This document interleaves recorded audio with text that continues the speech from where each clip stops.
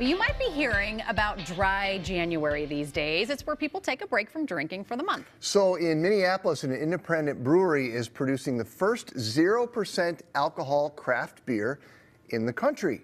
We are going to try it for ourselves now, and we welcome Paul Pirner, the co-founder of Hairless Dog Brewing Company, to Minnesota Live. Thanks for being here with us. Thanks so much for having us. So we were just talking. Hairless Dog only brews non-alcoholic beer. Correct. We are the country's first 0.0 ABV craft. ABV means what? Alcohol by volume. So Alcohol there is a volume. true 0.0% alcohol in this beer. And, And- what made you decide that you wanted to do beer this way? Sure. Um, well, my partner Jeff and I uh, were very social people, and uh, we were very good friends. And we had kids, and grew up, and did all those things, and had jobs, and decided that we really enjoyed beer and the people that we hung out with, and the flavors of it, and you know the craft beers that were coming up around here.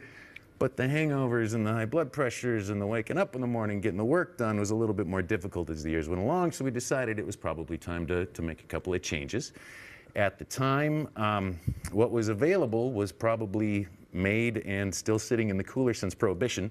There were just weren't a lot of uh, options for us, and and you know.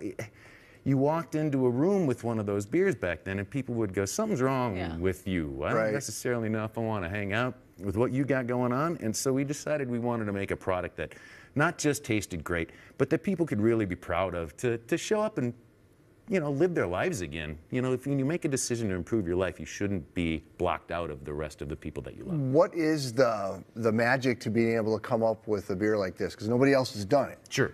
Uh, the vast majority of NA beers that are out there right now are just regular beers with the alcohol removed, and they do that through a variety of, of methods. But when you take all of that out, you also take out the other good beer stuff that's in there the head retention and the body and everything. So you end up with kind of a beer flavored seltzer, which is great for some people. But for us, we wanted a big, giant craft beer experience like we had fallen in love with here. And so we set out to make a process where you don't have to remove the alcohol. So we don't create the alcohol in the first place so we can be sure that there's no alcohol in there and we don't have to destroy all of the other structure that's in there that holds all that stuff in there when you open up the can.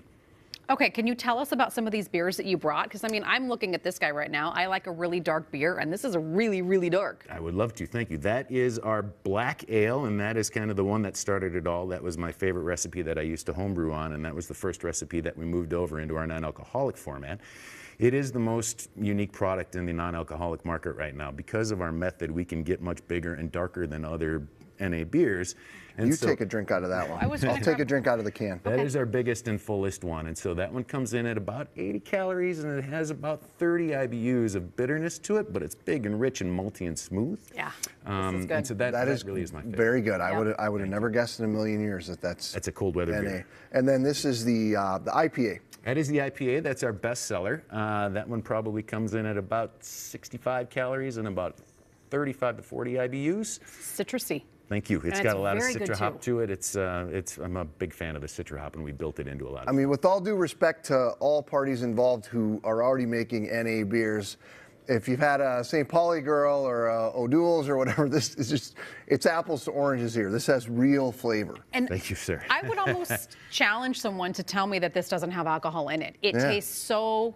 I don't want to say authentic to make yours not be authentic, but I just had a beer this weekend and it tastes so the same. Oh, I appreciate You know what I mean? Try In the a good- lager. Yeah. Okay, in in a good beer way when you're craving a beer, you know? So this is our Citra Lager, which is kind of an homage to great. the Citra Mm-hmm. hop. It's got a lot of citrus to it, and then it's got a calamansi infusion to it, which is called a Filipino lime. And if you've ever seen one, it looks like a lime, but you cut it open, and it looks like a um, more of a, a cutie, like a mandarin. Yeah. And so it's got a little bit of a tangerine rind flavor to it. It's not that sweet nastiness to it. It's real. That is quite good. Okay, so tell us how people can get these because I mean, Chris was saying you were introduced to this by the guy Yeah. at your liquor store, Yeah. and you were saying that people are you're being requested more and more beer because people are requesting it when they go to restaurants and when they go to liquor stores. Yep, you can always go to our website, which is hdbrewing.com, and we have a store finder there that has, uh, you know, where we're available. Um, we are available in lots of bars and restaurants locally through our wonderful local distributor, JJ Taylor, and we are also uh, available in the vast majority of local liquor stores. And then if you're out of town and you want to get us uh, anywhere else, you can go to Total Wine or Bevmo, and we're available nationally. And there's a kit for January, right? We do. We have a series of dry January survival kits where you can kind of choose your own stuff and put some merchandise in there if you want to and walk around and let everybody know that you're smarter than everybody.